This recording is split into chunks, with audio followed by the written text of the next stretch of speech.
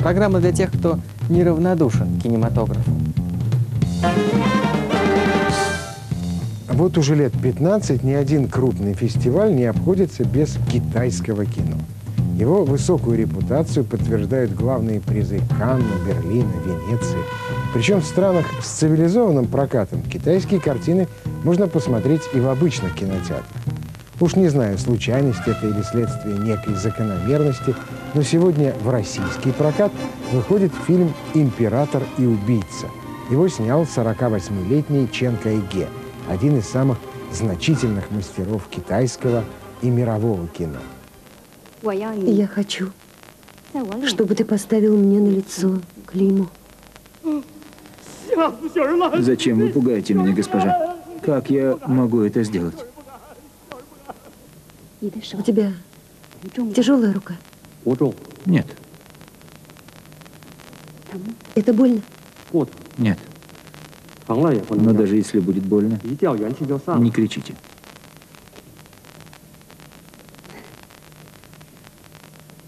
Не буду. Не буду.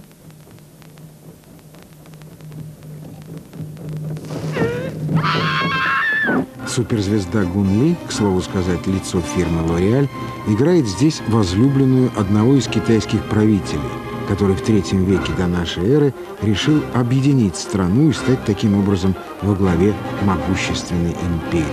В мировой критике эту картину Чен Кайге сравнивают с Иваном Грозным Эйзенштейном. Как и в эпопее о русском царе, здесь в центре сюжета тот же в сущности вопрос. Чем жертвует человек за право быть первым? И возможен ли компромисс между моралью и желанием власти? Это дети Джао? Генерала. Да, повелитель. Освободите их. Да, повелитель.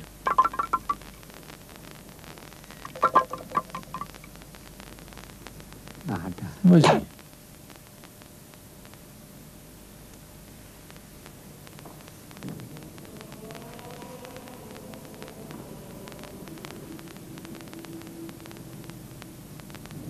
Отличие от голливудских исторических эпопей, где эффекта массовости достигают большей частью за счет компьютера, тут все подлинное. Китайская массовка абсолютно натуральная. Но дело не только в этом.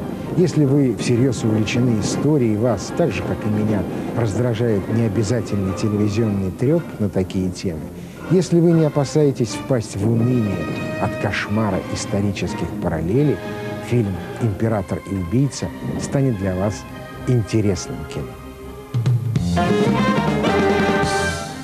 Среди сюжетов, постоянно питающих кинематограф, шекспировские сюжеты манят, наверное, больше всего.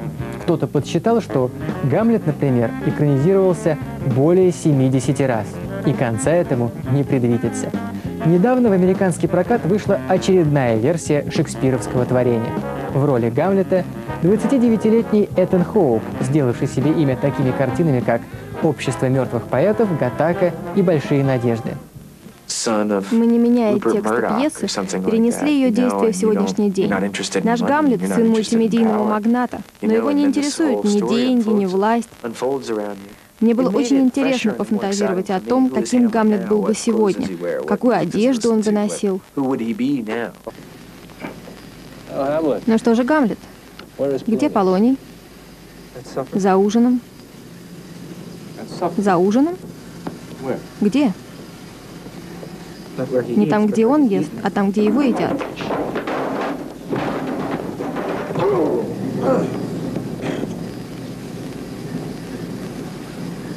Где Полоний? На небесах. Пошлите туда посмотреть. Если ваш посланный там не найдет, тогда поищите в другом месте сами. А современнить Шекспира мысли отнюдь не новые. Например, Без Лурман, экранизировавший Ромео и Джульетту, уже заставил Монтеки и Капулетти носиться с пистолетами. В новой постановке «Тень отца Гамлета» обитает в автомате по продаже пепси, а знаменитый монолог «Быть или не быть» звучит среди прилавков видеомагазина. Кроме Этана Хоука, который стал самым молодым Гамлетом за всю историю кино, в картине снялись Билл Мюррей, Полоний, Кайл Маклохлан, Клавдий и Сэм Шепард, сыгравший «Тень отца Гамлета». Говори. Я буду слушать. Я дух, я твой отец.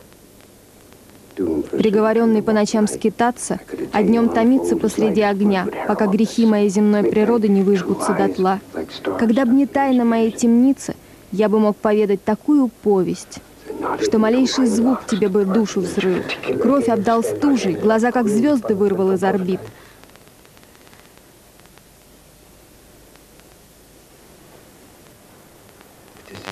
Но вечное должно быть недоступно плотским ушам. Всякий раз, когда из творческого простоя выходит режиссер, чьи предыдущие работы обеспечены заслуженным зрительским вниманием, эта информация не может не вселять оптимизм. Сейчас на Мосфильме к съемкам новой картины приступил Карен Шахназаров. Название у его фильма более чем интригующее «Яды или всемирная история отравлений» несмотря на, так сказать, на острату темы, скажем так, но на самом деле это комедия, на самом деле здесь в реальности никого не травит. Как и к большинству своих картин, сценарий Карен Шахназаров написал вместе с Александром Бородянским. Основное действие разворачивается в наши дни. Главные персонажи – это муж, жена, ее любовник и теща. Время от времени у каждого из них возникает желание отравить другого руководствуясь опытом знаменитых отравителей прошлого. Действительно, в картине присутствуют и как бы такие уходы и в историю там, Древней Греции, в историю Древней Персии, в историю там, Италии времен Ренессанса. Ну, так все вместе, как это будет сочетаться, посмотрим. Как правило, они, в общем-то, часто не складываются отношения у людей с тещей. И я сказала, знаете, как Георгиевич, по-моему, это не моя все-таки роль. Она зловатая такая написана. ну это же интересно, вы таких не играли. Я решила попробовать, рискнуть. Еще один кардинальный персонаж – любовник. В этой роли актер и режиссер Александр Баширов. Он как-то так по-своему объясняет и сюжет, и смысл фильма. Мой герой – представитель э, рабочего класса, я бы сказал бы, его передовой части, он слесарь на мясокомбинате. Естественно, часть продукции он тащит домой и, и обслуживает также и соседку в смысле э, кулинарного и сексуального такого удовлетворения. Доставляет в результате как бы э, с этого и начинается основная интрига фильма. Шахназаров, как известно, не только режиссер, но и генеральный директор киноконцерна «Мосфильм». Свою всемирную историю отравлений он снимает в нелегкие для нашего кинематографа времена.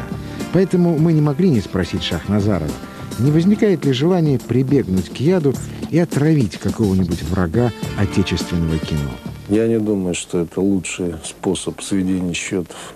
Но вы, вы знаете, действительно, это вопрос серьезный, а картина коми комедийная.